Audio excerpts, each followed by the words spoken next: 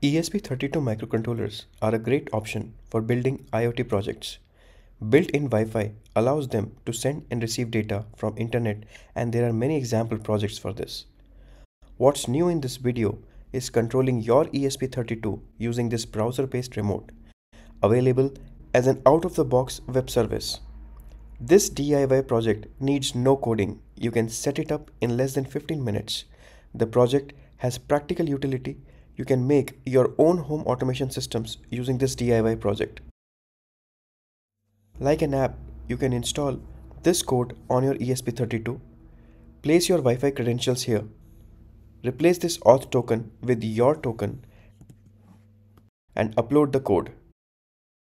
Create an account on this website to get access to your online web remote and receive your auth token.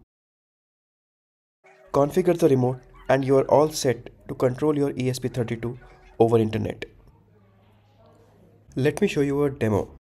On the screen, you can see the web remote, which will control this ESP32 connected to a relay board. And this is a serial monitor of Arduino IDE to see the code activity. The 8 channels of the relay board are connected to ESP32 via these GPIO pins, as per the connection details shown on the screen. You just need to assign the GPIO pins of your ESP32 to the buttons of your web remote using this configuration page.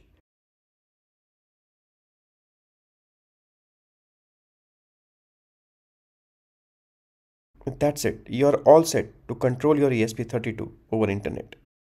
Let's power up the ESP through laptop's USB port so that we can see the code activity on serial monitor window.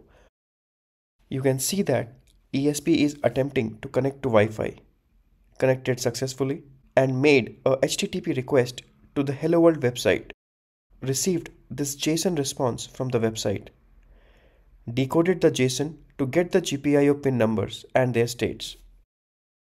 Now let's toggle some pins using the remote. ESP32 continues to make the HTTP request at fixed intervals and receives the data with respect to the pins which have been toggled. Accordingly, the respective relays have been activated and we received feedback on the remote that the command has been executed.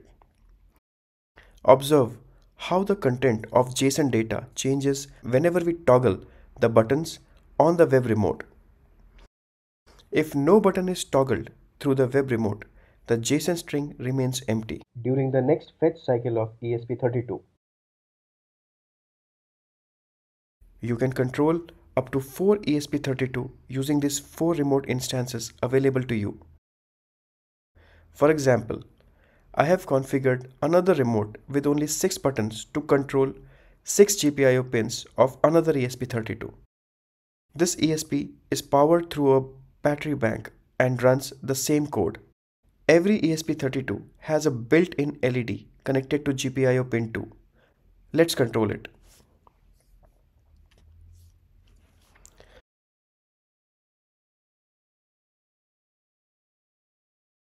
You can again select back the previous remote to control the other ESP.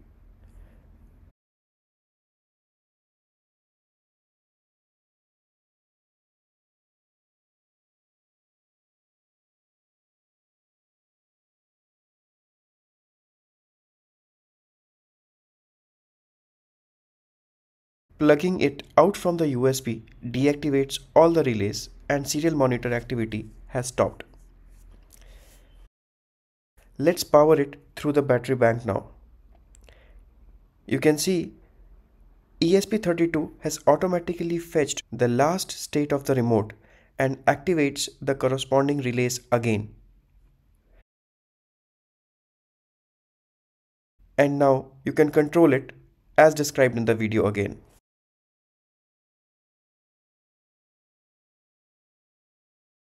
With this web remote, you can control your ESP32 as well as Raspberry Pis. I have described how to use this web remote with Raspberry Pi in this video. The code for Raspberry Pi is also available at the GitHub link provided below.